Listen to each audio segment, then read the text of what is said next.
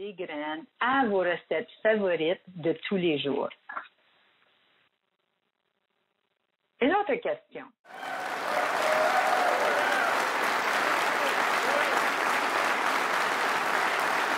Nous devons